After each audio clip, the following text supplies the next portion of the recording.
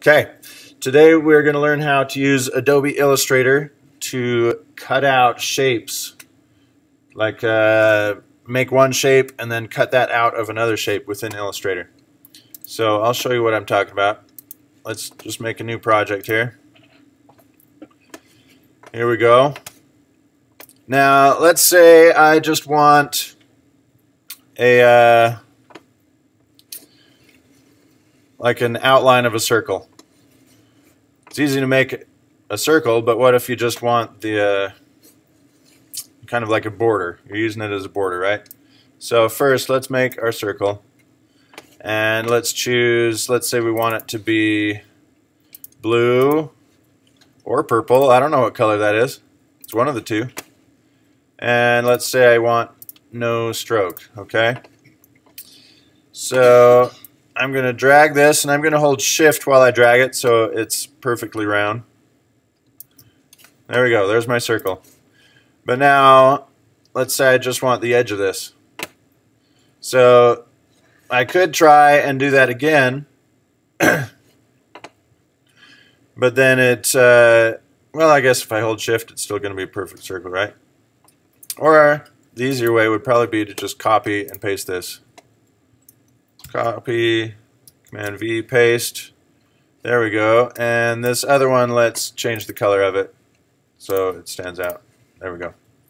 And I'm just going to shrink this down a little bit and then put it right in the middle there. It looks like it's right in the middle, but if we want to be sure, we can select both of them.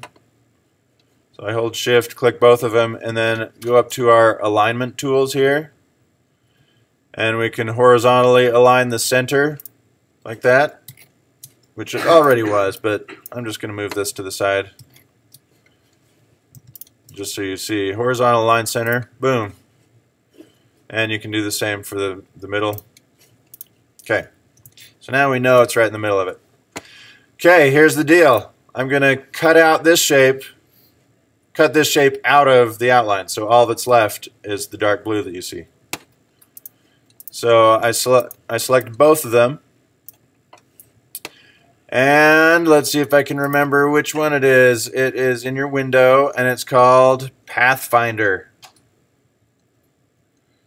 So you open up your Pathfinder window and it's one of these things. I think it's this one, minus front. So that means whatever is on the top layer will get cut out of the bottom layer. So I click that, boom, minus front, it just cut it out and now all that's left is this border. And the inside is blank. Pretty sweet right? Now we can resize that however we want. Let's try that again. So I'm going to put another circle in here.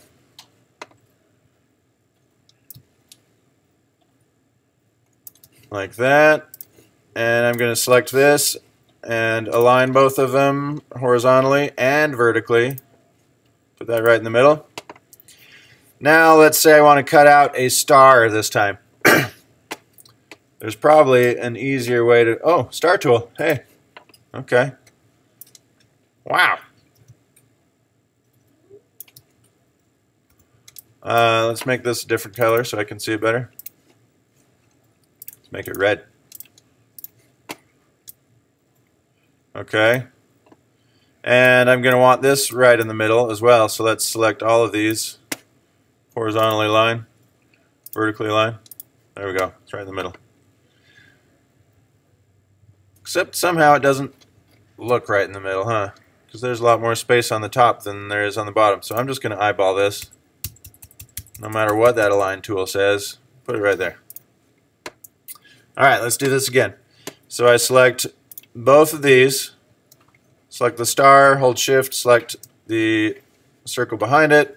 I've already got my Pathfinder open, but let's say I didn't, because you probably forgot. So window, Pathfinder, and again we do minus front. There are a few other options. We could unite, create a compound shape, or we could intersect. What does that do? Huh. I don't know what that did. Looks like it deleted the background. Anyway, minus front is what I want. There we go. And now this circle has a star cut out of it, and you can see through it.